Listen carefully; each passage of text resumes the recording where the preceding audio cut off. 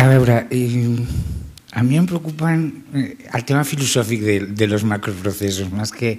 Porque me parece que en el tema práctico, efectivamente, hay soluciones mmm, parciales, pero podríamos encontrarnos, eh, encontrar bastantes. Por ejemplo, lo que has dicho tú del ofrecimiento de acciones. A mí me parece que la solución la ha explicado Miriam, ¿no? Es otra pieza separada, la, la de hacer ofrecimiento de acciones y separarla de la, de la, pieza principal. Y seguro que podríamos ir encontrando muchas soluciones eh, parciales a cada uno de los problemas concretos. Pero a mí me preocupan, dos temas de filosofía que tienen que ver, yo creo, con, lo, bueno, con la realidad de lo que está pasando últimamente aquí en nuestro país. ¿no? Y la primera es una reflexión sobre a ver, todos aceptamos, creo que todos aceptamos que están prohibidas las causas generales, pero yo tengo la sospecha de que estamos en un país lleno de causas generales. A lo mejor me equivoco, pero yo es la sensación que tengo.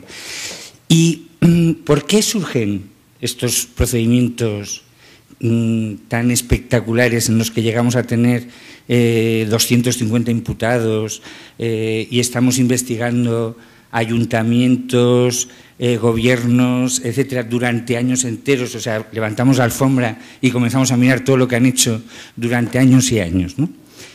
Desde luego no, porque si el juez comenzara la instrucción así no se le aceptaría a nadie. ¿no? Está claro, eso sería una causa general. Entonces, yo creo que es necesario hacer una reflexión sobre la famosa doctrina de los hallazgos casuales. ¿no? Sí, todos sabemos que si yo acuerdo mañana entrar en el Ayuntamiento de Barcelona a investigar lo que sea, pero la policía se lleva toda la documentación del ayuntamiento, aparecerán muchísimas cosas. Seguro que aparecerán muchas, muchísimas cosas, salvo que el juez de instrucción decida acotar la recogida de información y el análisis de la información al hecho que estaba investigando.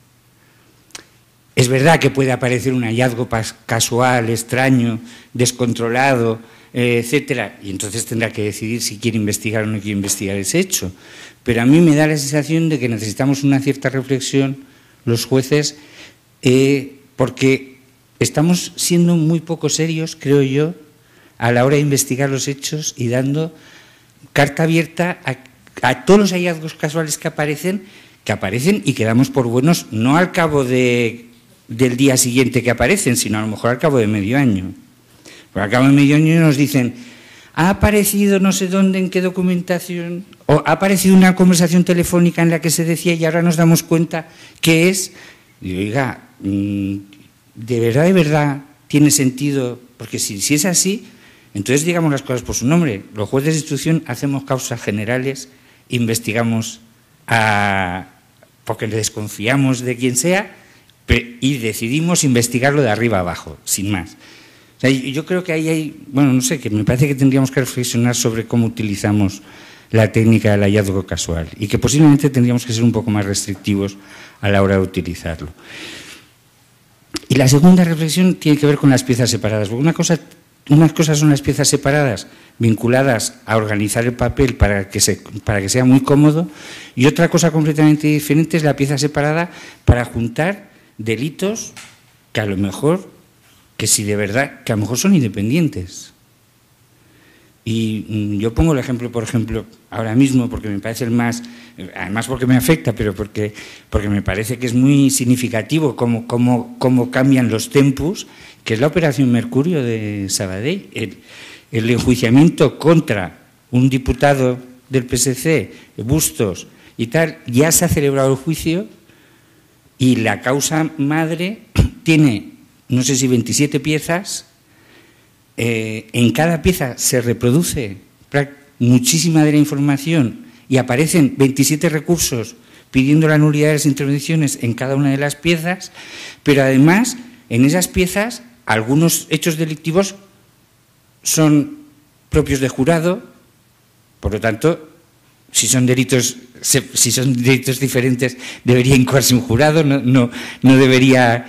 Algunas de ellas, el punto de conexión es absolutamente débil porque la competencia territorial correspondería los hechos, la sede social de las entidades o de quienes los hechos han cometido fuera de Sabadell, y el punto de conexión es muy, muy, muy discutible. Entonces, mm, yo creo que aquí es otra reflexión. ¿Qué es conexo? ¿Qué son delitos conexos y cuándo es aceptable que el juez asuma la investigación de todos los hechos y cuándo, yo creo que como se había hecho toda la vida, yo, ahí ya me comienzo a sentir un poco viejo, mm, los jueces Mm, hacíamos testimonios y enviábamos a los demás las cosas que les tocaban a ellos. ¿no? Esta sensación de... Bueno, jo, jo començo a tenir la sensació que hi ha alguns jutges que li agrada acaparar, que tenen ganes de, de, de, que li costa treure's de sobre determinades, determinades causes, evidentment, no? El robo con fuerza, ese no... Però, però a mi em sembla que ja és necessari fer una reflexió sobre això, perquè si no o sigui, el que és curiós, jo, jo no, em coneix, no em coneixo la causa perquè solament me la coneixo per, per recursos, però estic convençut que de les 27 peces que té l'operació Mercuri, moltes, possiblement, si es separen com s'ha fet amb la del Tribunal Superior de Justícia, a lo millor també estarien enjudiciades. Clar, és que això també és un problema d'eficàcia, vull dir que si, a lo millor separant són molt més àgils, no? Una altra cosa diferent és que sea un delito continuado, porque ahí todos los hechos tienen que ser objeto de un solo juicio. ¿no? Pero cuando el único punto de conexión es que un señor aparece en muchos sitios, ¿no? Sí, en relació a la primera part que has dit, no? el que el anar a buscar documentació, no? informació i trobar no sé com es diu en català, l'allazgo casual, però a trobar això. Clar, el que, jo, el que jo penso que està passant és que el món ha canviat molt i abans tu feies una entrada i escorcoll i anaves a buscar un arma o culleres o tal, i la documentació comptable que tenies escrit i uns llibres de no sé què, però és que ara això ha canviat, ara entres a una casa a fer una entrada d'escorcoll i el que hi ha són ordinadors i no saps què hi ha dintre. Llavors, acotar abans de trobar-te l'ordinador, obrir-lo, veure què hi ha dintre, el que vols emportar-te és absolutament impossible, que és el problema que jo tinc. Ja m'agradaria a mi poder acotar, perquè no trigaria tant a fer aquesta anàlisi i per això ha hagut de fer aquesta cosa rara de, bueno, primer traiem el cap i llavors copiem només una part i perquè si no, no avanço, no podria acabar ni en 18 mesos, ni en 4 anys, ni en... A mi em van dir que s'havien de copiar tot el que ens havíem emportat, que era un ordinador per domicili i poc més, eh? i algun per empresa, que trigàvem dos anys, dos anys.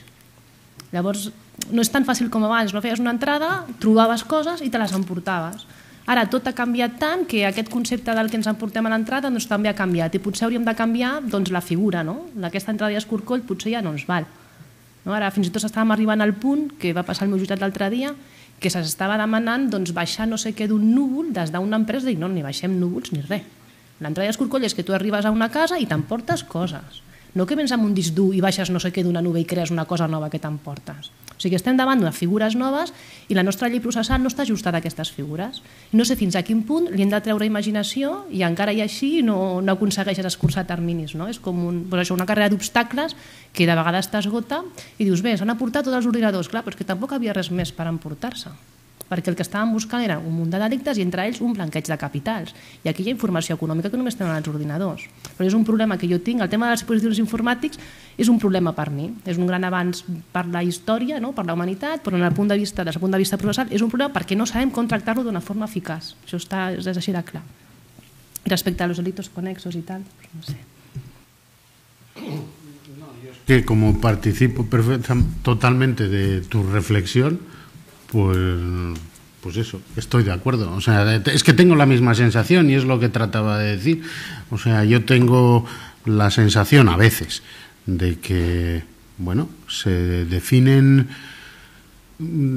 se definen los hechos que, por parte de la policía que tienen que ser objeto de investigación y se recogen en el auto de incoación para definir, para, para arrancar la investigación de forma un tanto intangible, un tanto uh, difusa, y, que eso genera, entre otros problemas, esta investigación expansiva de la que estás hablando. Claro, no lo aceptaríamos en cualquier otra cosa. O sea, probablemente lo lógico es, utilizando otro ejemplo para, para pero para que se vea claro, de decir, bueno, si me vienen diciendo que una determinada entidad ha salido a bolsa, y que parece que la oferta de venta pública de acciones se ha hecho proclamando unos activos que no se tenían y falsificando la, la documentación de salida al mercado financiero, Vale, pues que me diga la policía qué es eso lo que se investiga, que me diga la policía cuáles son los, los elementos que les llevan a esas sospechas fundadas y acotamos ese espacio de investigación y yo lo pongo en el auto. Y eso es lo que investigamos. Y si después resulta que investigando aparece, bueno, pues que ha habido una, además de eso, una apropiación indebida, a mí me parece absolutamente inaceptable que la policía se ponga a investigar esa apropiación indebida y vaya desarrollando y profundizando en las distintas capas de investigación de esa apropiación indebida sin decir nada al juez y ya no te digo cuando de repente se plantan con ocho detenidos y toda la documentación. O sea, esas revelaciones debería haber usted plantearlas al juez y que el juez hubiera ampliado el espacio en un autocomprometido de investigación a, esos aspectos y entraríamos en decir, ¿y qué conexidad hay entre uno y otro? La del 17.5, que en el fondo el 17.5 que era, era un instrumento para facilitar el enjuiciamiento de algunas cosas, pero, pero no, no para construir delitos conexos como regla general. O sea que bueno, yo creo que estoy de acuerdo contigo. Estoy, y tampoco, tampoco he llevado últimamente ningún tipo de, investigación de esas, ni siquiera en control en apelación. Pero por lo que percibo en la, en la, en la prensa, me da la sensación de que las investigaciones generales existen y que las investigaciones se amplían y se amplían y se amplían sin tener definido bien el rumbo que se quiere en esa investigación desde un punto de vista técnico-jurídico. Y desde luego nunca, como dicen, nunca hay viento favorable para el que no sabe qué rumbo lleva. O sea que, claro, luego se montan aquí unos, unas bolas que, que es difícil abordarlas. ¿eh? Si no me equivocas, había una petición de palabra que era la tercera fila aquí a la meva esquerra. Ja ens ha dit que és un tema extens, però m'agradaria conèixer quins són els principals problemes que tenen en quant a la gestió dels testimonis protegits. Bueno, es que en el fondo yo la, la, la, objeción que más presente tengo es que no sé hasta qué punto están protegidos. Quiero decir, o sea, el testigo protegido está muy bien, pero luego al final resulta que hay que desvelar su identidad en la fase de juicio. Y, claro, no sé hasta qué punto un testigo está protegido en esas condiciones. reconozco y, reconozco y es verdad que el acusado tiene que conocer la persona que hace afirmaciones de cargo contra, contra él, porque es la única forma de defenderse de esas afirmaciones, bien Mm, exponiendo el ánimo espurio que pueda tener el testigo de cargo, si es que eh, puede haber un ánimo espurio, o bien contextualizando, o, lo que sea. Pero claro, no creo que siempre ese espacio de defensa se, tenga que, mm, que, proteger dando el nombre del, del testigo. Por ejemplo, un agente infiltrado. Un agente infiltrado al final eh, cuál es el contacto que ha tenido con una de las personas que formen parte de, la, de la asociación ilícita en la que estaba infiltrado. El contacto que ha tenido no es un contacto del nombre. O sea, nada va a sacar del nombre la defensa para defenderse.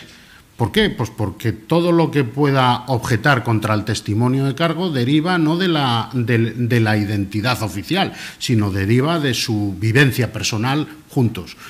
Bien, yo creo que ese testigo protegido, por ejemplo, con que se le exhibieran los rasgos fisionómicos, con que el acusado pudiera ver a, quien, a la persona que está declarando contra él, está en condiciones de estructurar su defensa.